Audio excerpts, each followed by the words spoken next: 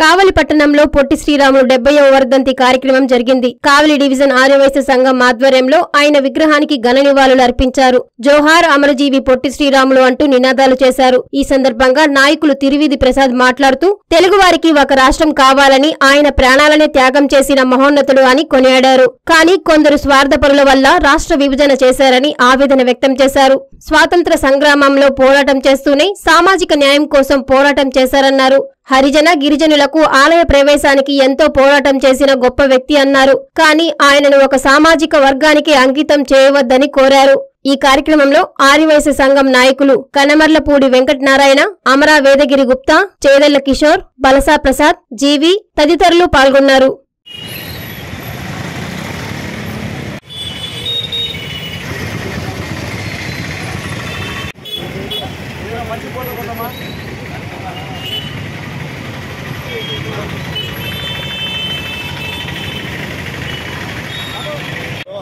జోహార్ అమరజీవి పొట్టి శ్రీరాములు గారు.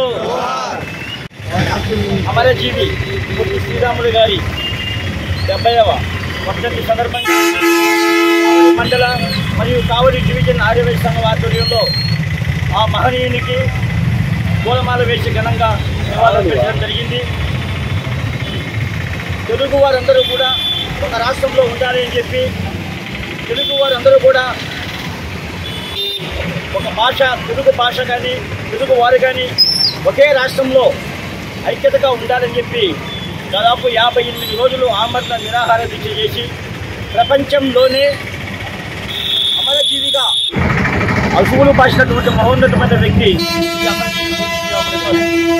మరి ఆయన మరి ఒక కేవలం వైశ్య జాతికే కాకుండా హరిజన గిరిజనులు కూడా వాళ్ళ దేవాలయ ప్రవేశంలో ఉండాలా? కులమత భేదాలు లేకుండా దేశ ప్రజలందరూ కూడా ఐక్యతగా ఉంటారని చెప్పి ఆ రోజు జాతిపిత మహాత్మా గాంధీజీ కానీ డాక్టర్ బాబాసాహెబ్ అంబేద్కర్ వాళ్ళతో కలిసి వాళ్ళకు కొన్ని సలహాలు కూడా ఇచ్చి మరి ఐక్యంగా ఈ ఆంధ్రప్రదేశ్ రాష్ట్రం కోసం మరి అసూలు భాషినటువంటి వ్యక్తి. అటువంటి మహోన్నతమైన వ్యక్తికి మరి కొంతమంది స్వార్థ రాజకీయాలతోటి ఈ రాష్ట్రాన్ని తెలుగు రాష్ట్రాన్ని రెండుగా విభజించడం జరిగింది.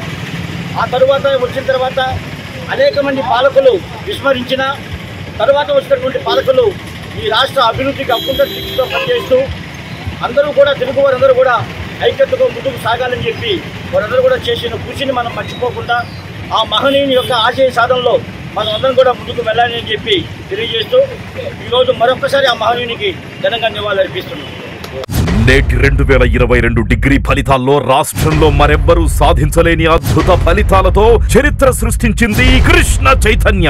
బిఎస్సిలో ఏకంగా వంద శాతం మార్కులతో కృష్ణ చైతన్య స్టేట్ రికార్డ్. బీసీఏలో తొంభై తొమ్మిది పాయింట్ ఐదు శాతం బీబీఏలో తొంభై ఎనిమిది పాయింట్ ఐదు శాతం మరియు బీకామ్లో తొంభై ఆరు పాయింట్ ఐదు శాతం మార్కులతో అన్ని గ్రూపుల్లోనూ యూనివర్సిటీ టాపర్గా మరోసారి చరిత్ర సృష్టించింది కృష్ణ చైతన్య. అంతేకాదు ఒక్క థర్డ్ ఇయర్లోనే తొంభై శాతానికంటే పైగా మార్కులతో ఏడు వందల యాభై ఎనిమిది మంది డెబ్బై ఐదు శాతం కంటే పైగా మార్కులతో ఏకంగా పదమూడు వందల పంతొమ్మిది మందితో రికార్డు సృష్టించింది కృష్ణ చైతన్య. కృష్ణ చైతన్య విద్యా సంస్థలు నెల్లూరు.